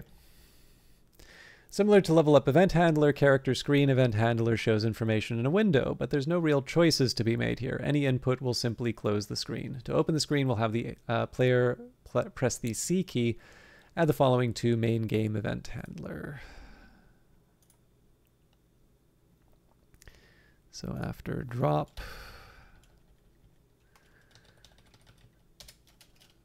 elif key tcod event key chord event KeySym dot c return character screen event handler self dot engine.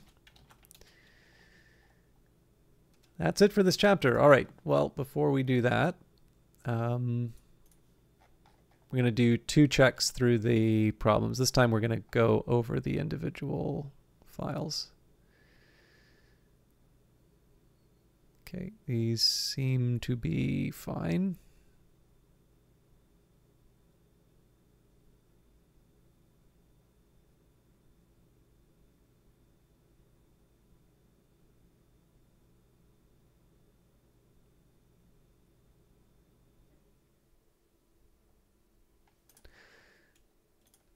Okay, this time we're going to continue.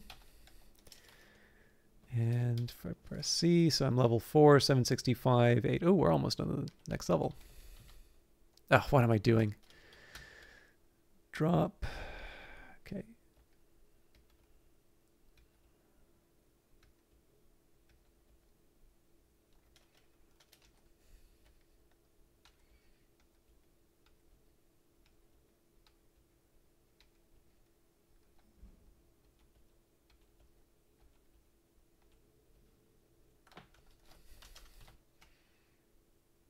Many, many health potions.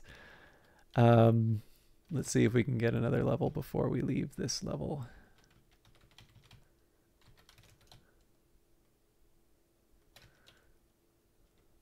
No.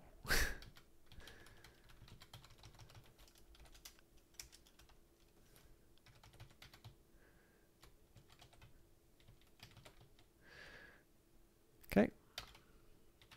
I'll do at most two levels on this, probably just the one, but okay. One, two, three. Okay, I would need three more levels before we one hit trolls.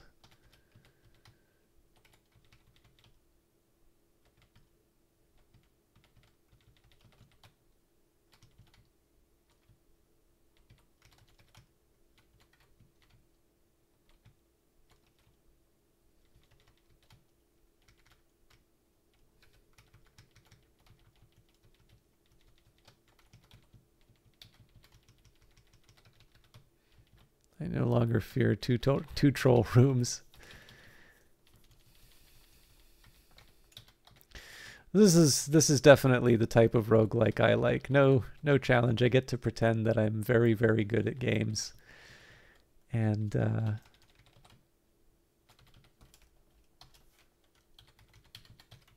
just kill a vast assortment of um,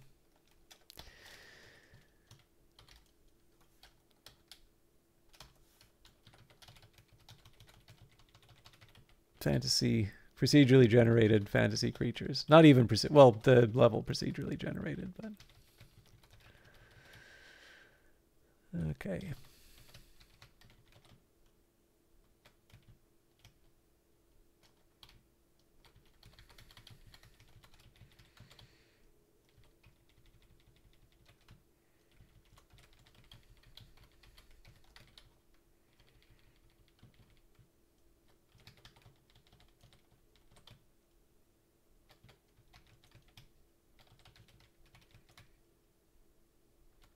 So, I mean, I, one thing I should clarify too, like it is kind of fun to tool around this still. I'm very easily amused.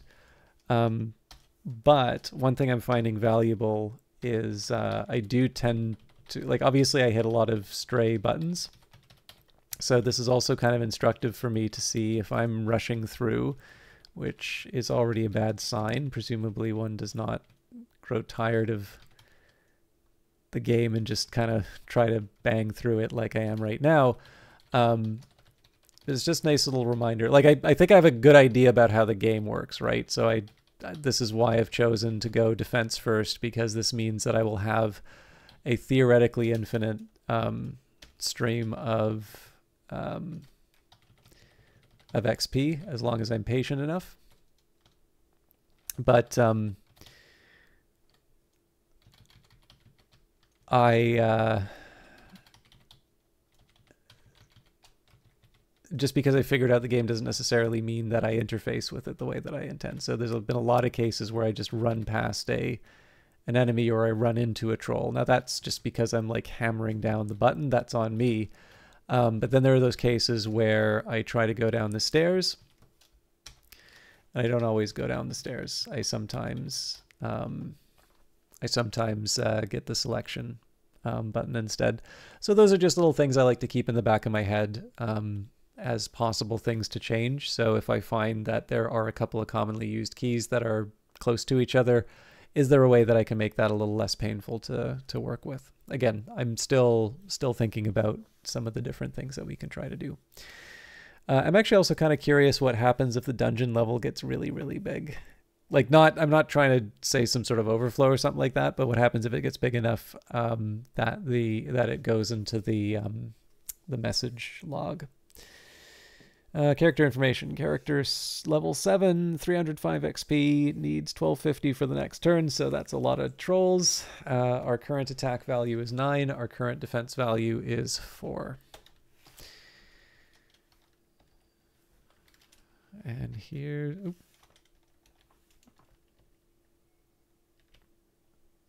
Here's what we've done. A couple invalid entries.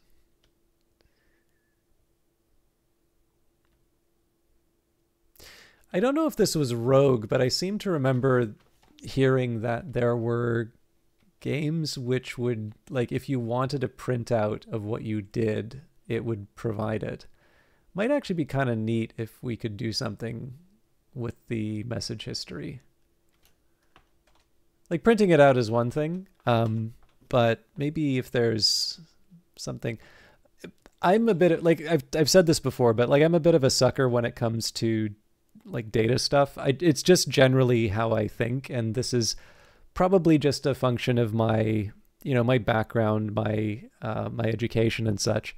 I just find it's a useful way of sort of thinking about things. Um, and it's it's not you never want it to be like the one true faith. That's that's not what I'm I'm trying to say here. But it's just if there is a if there's a problem that I'm dealing with, if there's something that I'm looking at, generally I will try to, you know, say, okay, well, what what numbers do I have to work with here? Is there something that I can use to sort of put some structure on this problem? Um, and, you know, in my job I don't always have that. You know, I'm I'm certainly comfortable enough working, you know, in the messy messy world of, um, you know, qualitative uh, evaluations. But it's just one where I tend to be like, okay, you know, we we have a we have a common set of things that we can work with in here.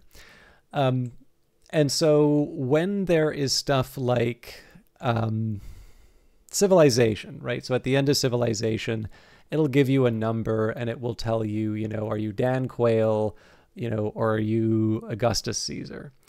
Um, you know, or, um, you know, there are, are like, let's say a city builder or something like that. You get to see, you know, how much do people like you? You know, what's the, what does the budget look like? I mean, sometimes these things will be game mechanics too, right? So the budget's probably going to be something that you you are uh, quite aware of because that will determine the success of your your city. But there are uh, a lot of games where they'll just give you information about what you have um, for the just the sheer joy of seeing just a representation of what you got up to. So you know, a log is one thing, and I think that's um, that's kind of neat on its own.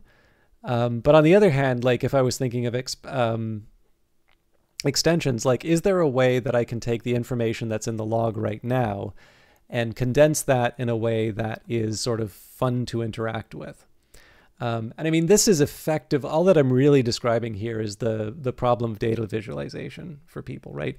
Half of the time, it's just some number, an aggregate usually, and someone just finds a really clever way of representing it in in such a way that people, you know, are delighted in a way that they wouldn't normally be. Um, you know, by by the information, and hopefully it's sort of serving uh, some larger purpose. So, in any case, I don't want to. I probably shouldn't be uh, finishing this uh, this off by by talking about um, ways to extend the history log, but um, part of this was to just sort of give a bit of an account in terms of where ideas come from, and uh, that was what I thought when I saw that log. Sorry. Oh. I um I am sleepy.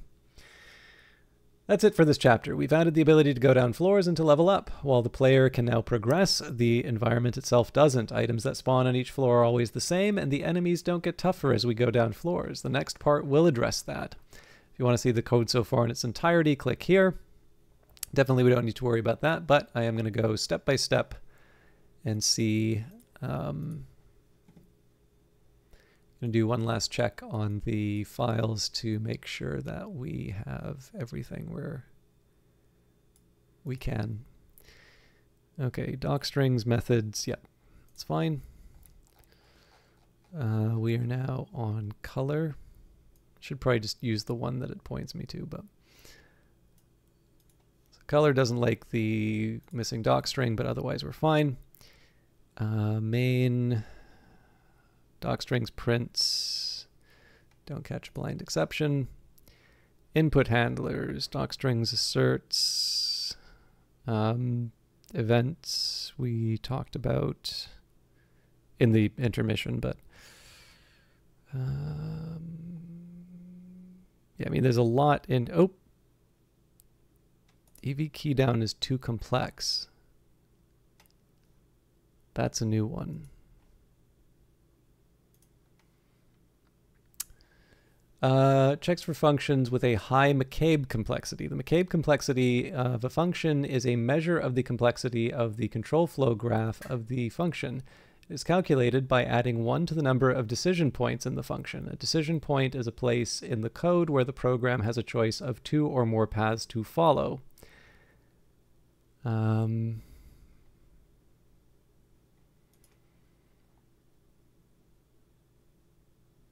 yep that's that's life there. Too many return statements.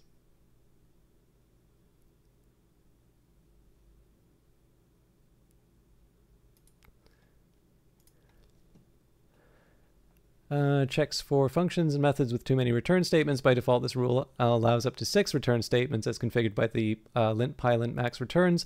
Functions or methods with many return statements are harder to understand and maintain and often indicate uh, are often indicative of complex logic. Um, yeah, I mean, fair enough, but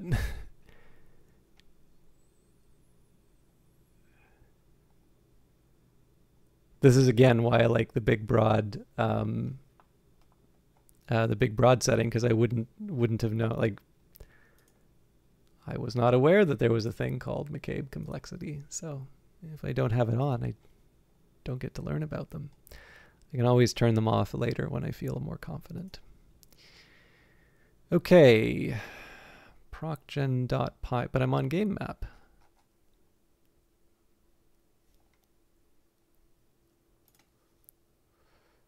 Okay, doesn't like random numbers, magic values. Yeah, we're fine. Game map doesn't like the doc strings, but we're fine. Engine, doc strings, we're fine. Entity, doc strings. Uh, render function, doc strings. Entity, again, doc strings.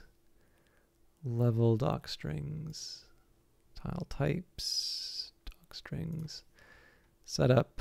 Um,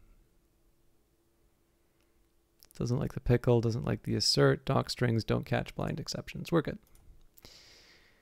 Okay, so completed part 12. Sorry, part 11. So this time we're going to commit and say, oop, got to add everything.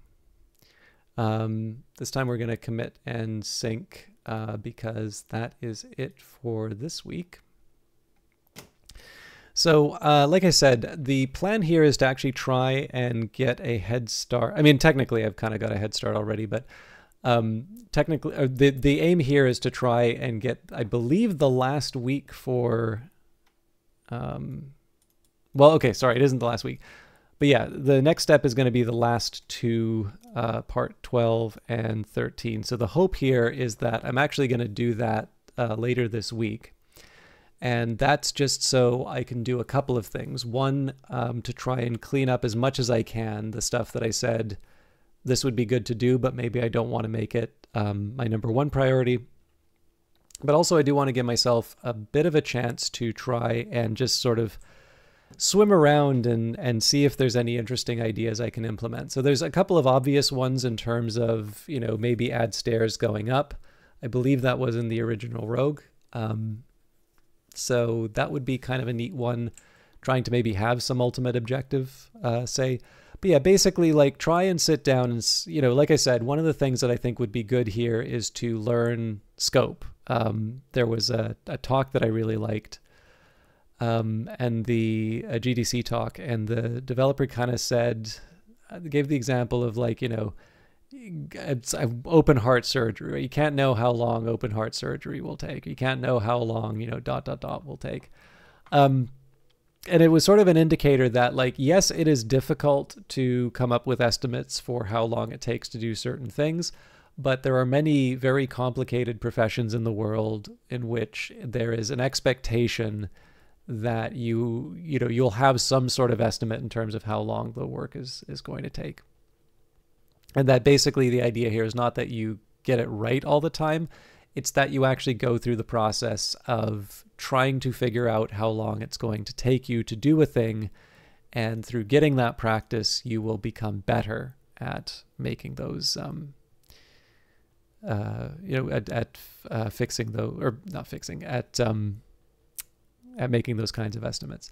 So, you know, again, I don't, all this stuff is going to be for fun, right? It's not like I, I need to sit down and figure out, you know, what my burn rate is or anything like that. Um, but I do think it would be good to to get some discipline for this stuff, right? Especially because if I say it's like, hey, you know what, I had a lot of fun doing this last year. Uh, maybe this time I want to try, you know, you know, fill in the blank, right? Maybe I don't want to slavishly follow the vanilla tutorial, maybe at this point I want to try and implement, you know, maybe, maybe I want to say, okay, if we had to rewrite this tutorial, what are some of the things that I would do? What are the things that confused or what are the things that I think could be done better? Um, and um, yeah, I mean, obviously um, that still has a finite period of time. So, um, so yeah, it's, it's eating my spinach. It's, it's good for me. Um, but it, it would be also kind of nice too. The reason why I want to give myself some extra time is just it, it would be fun to just implement a couple of things which are just showing off, right? You know, hey, here's a clever idea I had. That's in a game now. You know, be amazed or have, you know, maybe this will make you play the game four minutes longer or something like that. Anyways, uh, I'm really drawing this. I think it's been 15 minutes of me yapping. So thank you for watching, and we'll see you next week for the last official parts of the tutorial.